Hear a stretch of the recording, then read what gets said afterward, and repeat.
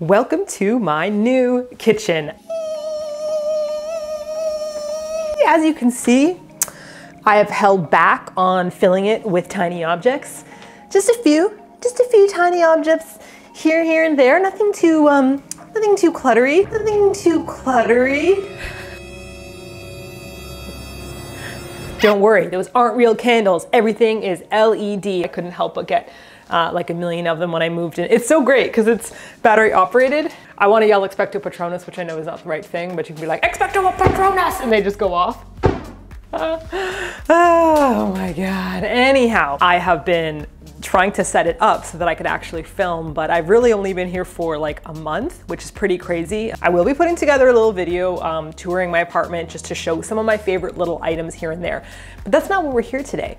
We are here today because we're gonna be doing some Conbini hacks. That is totally mine, you can't see it. Yes, apparently I have a new roommate, um, hacker woman. She is pretty good at ordering things online and since she doesn't really like leaving the apartment, um, I can get her lots of things from the Conbini and she finds different ways to kind of like hack them together. Today, I am doing my very favoritist of all Conbini hacks. If you saw in EYK Studio, I put up a video talking about how Conbinis all have different things at them and everybody has like a favorite location. So when it comes to microwave pasta, yes, you heard me correctly, Lawson's has my favorite. It is a carbonara. It comes with a Japanese egg on top, which has been like slightly cooked, but not completely, so it still has a bit of a runny yolk, a little bit of a cream sauce, chopped ham, and then fresh uh, pasta. Now that is the key to me. If you get the, the spaghetti I find in any of the convenience can be kind of like al dente, very al dente but the fettuccine noodles are kind of fatter and steam a little bit better. So I wanna show you how to take this item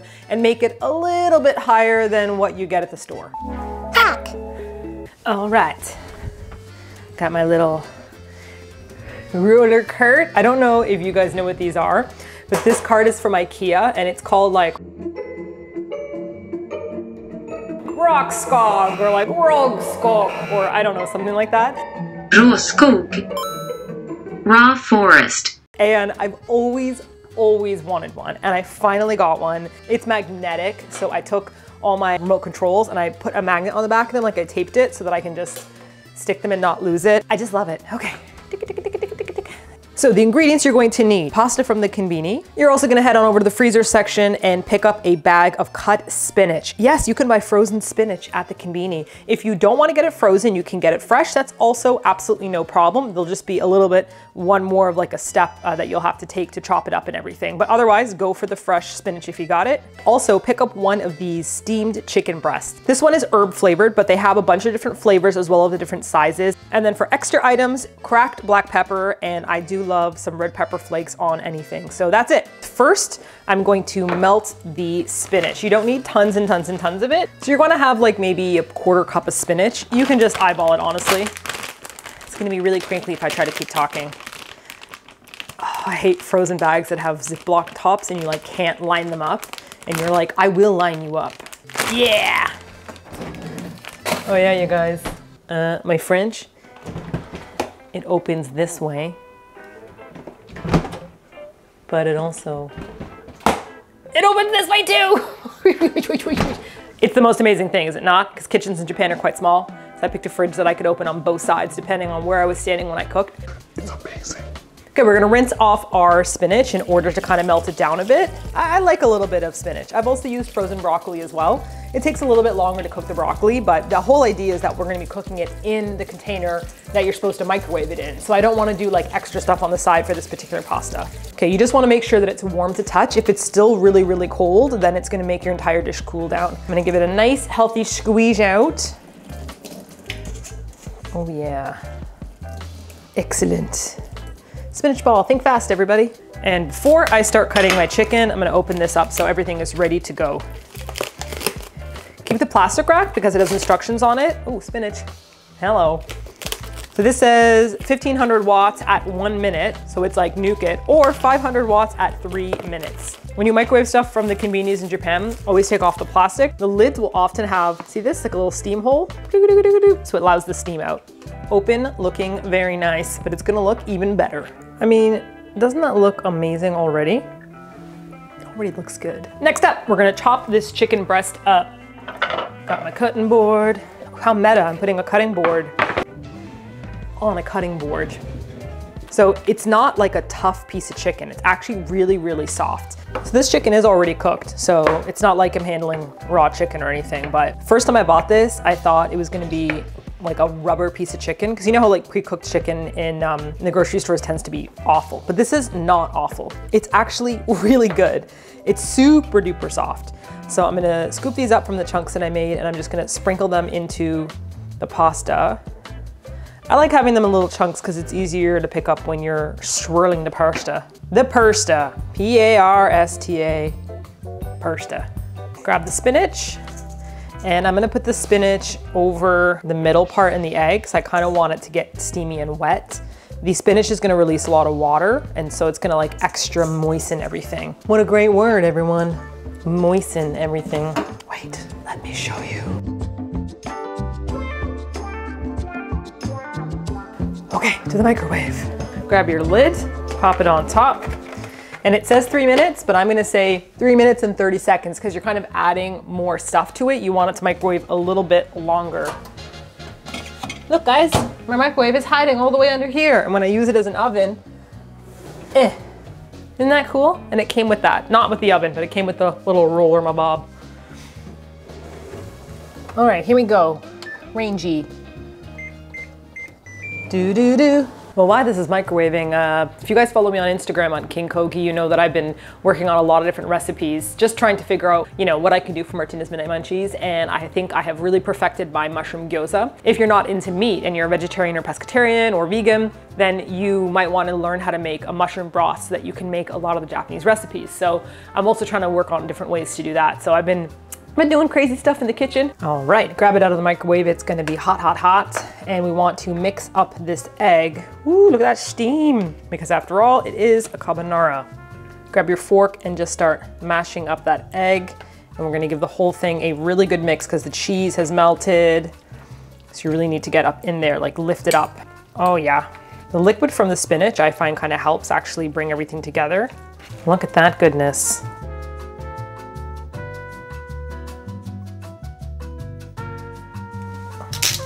Black pepper. And because I like spicy food, I'm adding some red pepper flakes as well. C'est uh, voilà. C'est bon, c'est voilà. Why am I speaking French when this is supposed to be Italian? Buongiorno. It's just super creamy. The egg has like melted in there and coated everything. Oh my gosh. It's, it's just, it's too good for a convenience store. It, it's concerning. Let's give it a taste. Mmm. Mmm. So nice.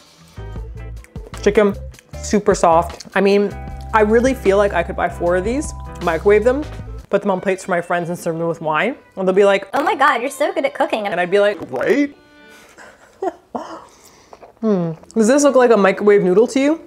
It doesn't make any sense to me, but other suggestions, Conbini's will sell things like ham, pancetta, bacon bits. Um, you can chop that up and add that in if you want to have a bigger, hammier version. They have different types of chicken breasts. They've gotten flavored ones. This one's the one with herb. They have one flavored with basil. They have smoked one. You can add little bits of cheese in here, like cab cab camembert, camembert cheese they sell in like little chunks. Mmm, this is my favorite combo. Hey, can I share one of my favorite Conbini hacks? Oh, Hacker Woman. Yeah, sure. Why don't you show them one of your Conbini hacks while while I eat dinner? Because um, I haven't eaten yet. So. Groovy.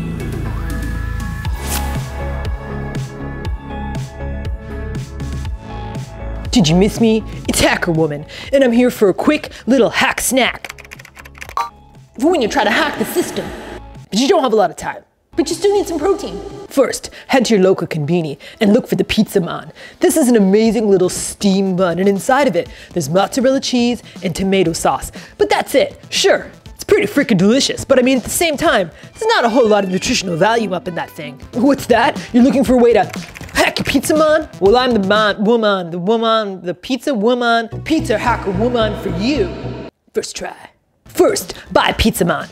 Second, pick up a pack of ham. This was literally 65 yen. That's like 70 cents. Then, grab a soft boiled egg. Now you gotta do this quickly, because Pizzamans getting cold are no good. And when you try to warm them up, they get super soggy. Take your piece of ham and warm it up, either on the stovetop or in a microwave for like 20, 15 seconds. Cut it up into little pieces. Then, like a pumpkin jack-o'-lantern at Halloween time, cut the top off of your Pizzaman carefully.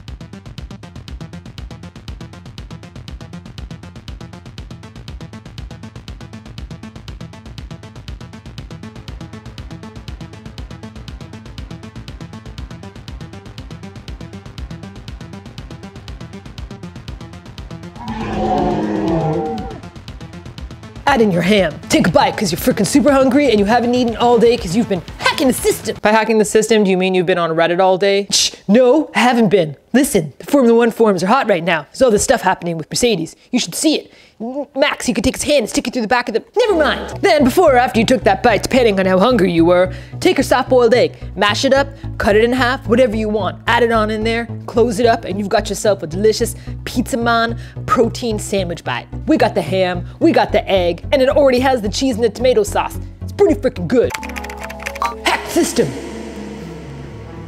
Also, I, I don't really want to leave the house in the morning tomorrow because I have a really super important hack uh, that I gotta do. So, would you be able to help me with some breakfast? I mean, it's cool if you don't want it, but maybe you can come up with a hack. I literally have carbonara in my hair. It's awful. Thank you, Hacker Woman, for that additional little snack hack. Uh, I quite like that actually. The Pizzaman are really good, but I do often feel like I'm eating nothingness. So somehow shoving an egg in there, adding a bit of ham makes me feel like it is a well-balanced meal. I mean, I guess you could put in some spinach and lettuce and yeah, I mean, like let me know if you guys end up packing anything, what you do to actually make it a little bit uh, anti-up. Gotta brush my teeth because I feel like I have spinach everywhere. I wanna say hack the system, but I feel like that's Hacker Woman's. That is totally mine, you can't say it. But keep keeping it cool in the King Kogi Kingdom. I, don't, I don't know you guys. That's it now. Keep keeping it cool in the King Kogi Kingdom.